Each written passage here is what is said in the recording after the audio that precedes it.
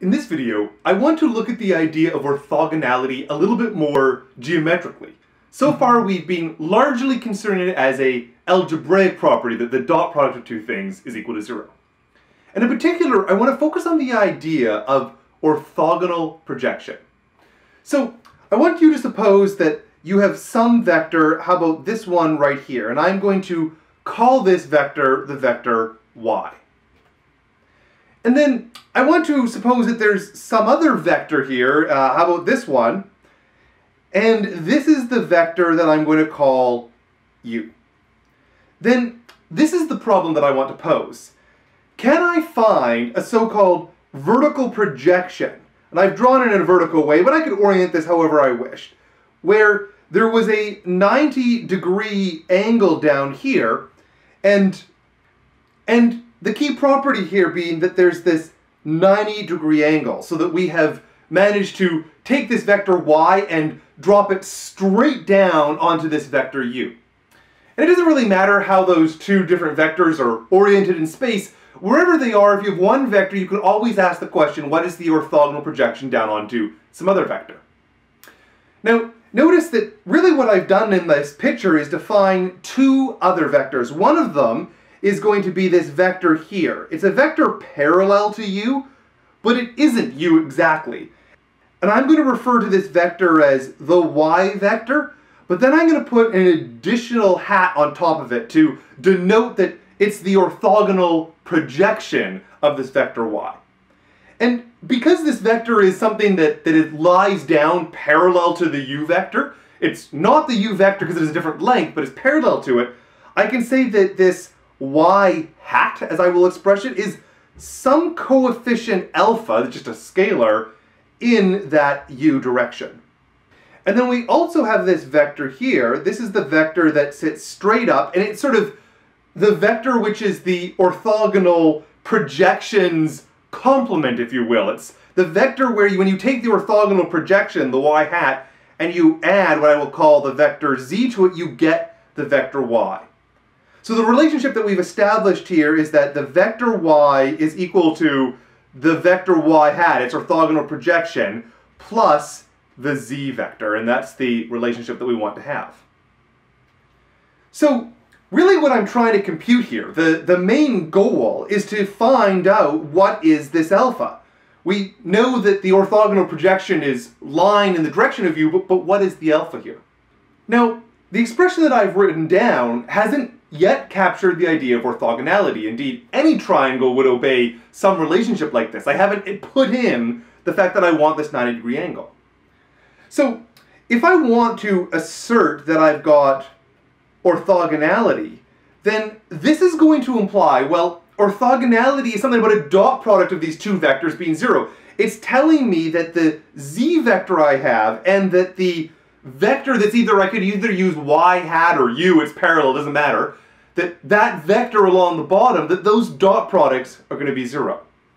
So in other words, I am asserting that the z vector dotted with the u vector is equal to zero. That's what it means to say that z is orthogonal to this vector u and that I've got an orthogonal projection. And then I can come up here and I can rearrange that formula for z. z here is just y minus y hat. So I can express this as the vector y minus the vector y hat. That's a stand-in for z. I'm taking its dot product and saying that this is equal to zero. And finally, I, I know about y hat. I have this expression, so I can come along and fire this into here. So this is going to be the same thing as saying that the vector y minus alpha u, all of that dotted with vector u is equal to 0.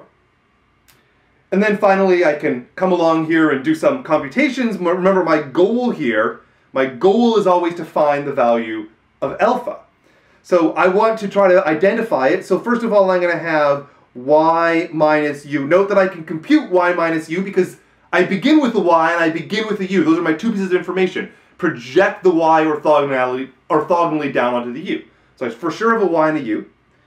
And then this is going to be equal to alpha and then u dot u. And I can compute u dot u as well. And so final step I have to divide.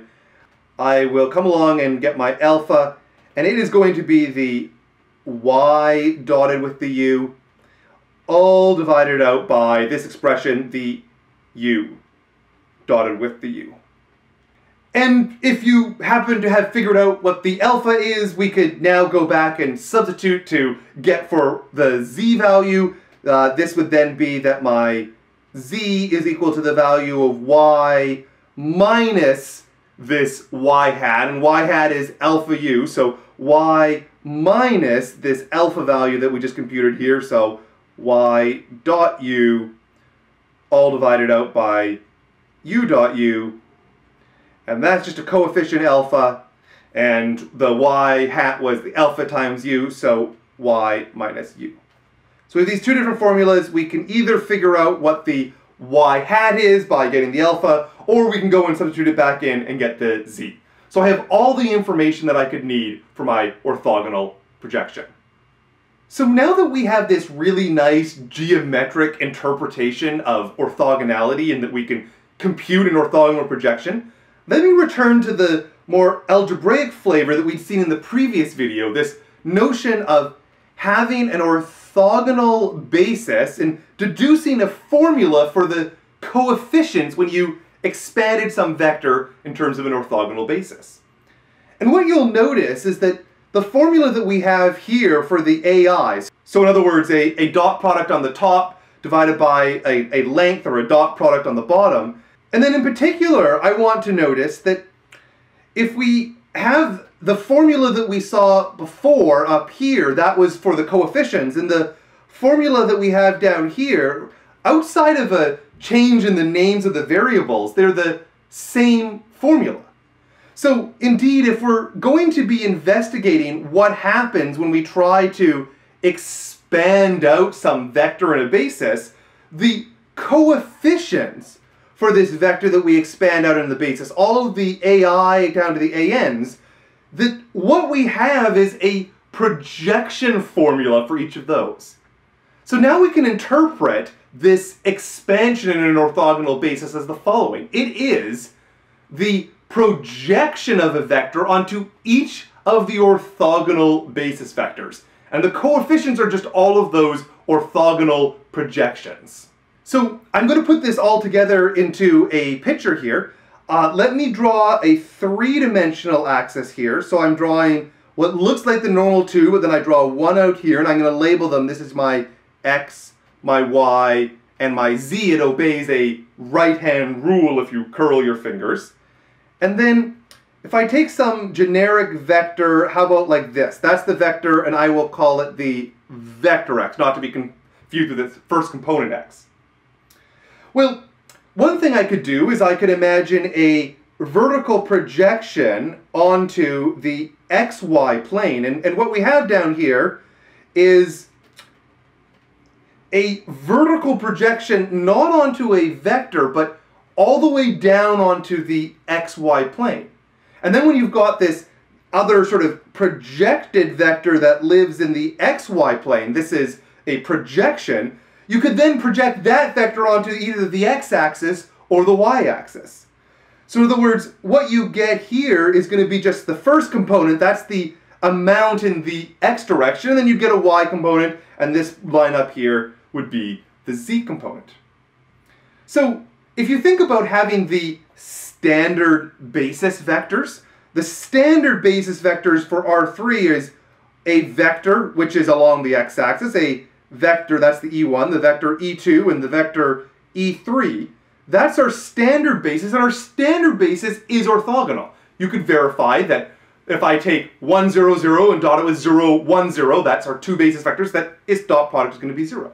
So then, if I take this particular vector x, that I can always rewrite it as its first component times the first basis vector plus the second component times the second basis vector, and finally plus the third component times the third basis vector. And then when I want to think about this x1, this x2, and this x3 here, well, here they are, the x1, the x2, and the x3. We see them as these orthogonal projections. And indeed, if we wanted to try to compute out what the x1 is going to be, we could verify that the x1 here is going to be the same thing as taking the vector x dotted with e1 divided by e1 dotted with e1. Well, e1 dotted with e1 is just going to be the value of 1, and x1 dotted e1, this is just going to be the same thing as x1, x2, x3, that's the vector x, dotted with 1, 0, 0, that's what my e1 is, that is indeed equal to just the x1. So my formula here is valid. In other words, in this specific example where I have this specific orthogonal set, the standard basis, that our projection formula becomes very simple. It just gives out the x1s and I get the normal expansion of x in terms of the standard basis that we had before. It's just that now I've interpreted it as an orthogonal projection in this particular picture.